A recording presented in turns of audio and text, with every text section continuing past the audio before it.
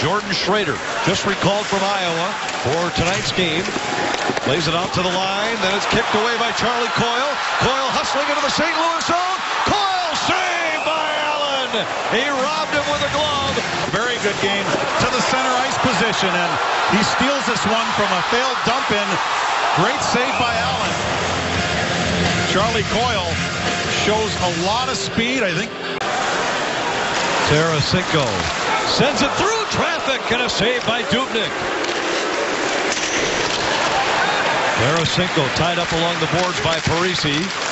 Wild unable to clear. Tarasenko's dangerous. Works to the middle. Save Dubnyk. And then Stastny was tied up by Parise.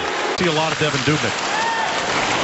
Christian Folin wheels it around for Pominville and ahead to Granlund. Granlund springs Scandella. Winds, fires, and a save by Allen. It off the boards for Granlund. Granlund lost it to Pietrangelo, and the Blues are right back in. Brodin Headmans for Parise. Across to Pominville. Fire. Save by Allen. Summer.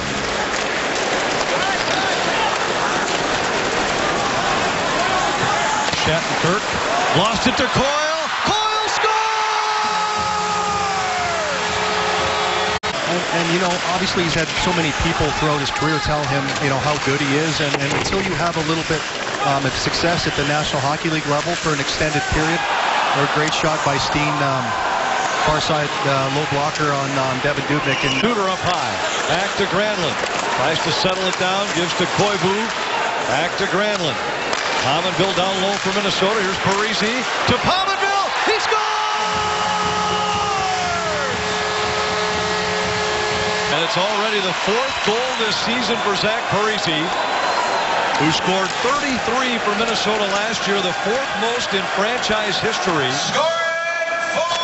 And the Wild have their second power play goal. Post here, Vanek, and they score!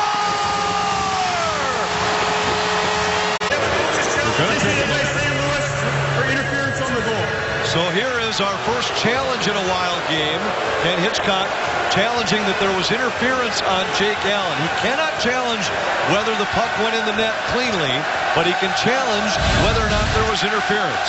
Well, Allen, we'll have to see whether Coyle negates his ability. He's pushed and not really anywhere near the, the puck when it's shot and banks off of him. After video review, the call on the ice is confirmed. We have a good goal. They forfeit their Lehtera strong on the puck. 44 points in his rookie season last year, 14 goals and 30 assists. Pominville takes it away from Minnesota, off the wall for Parise.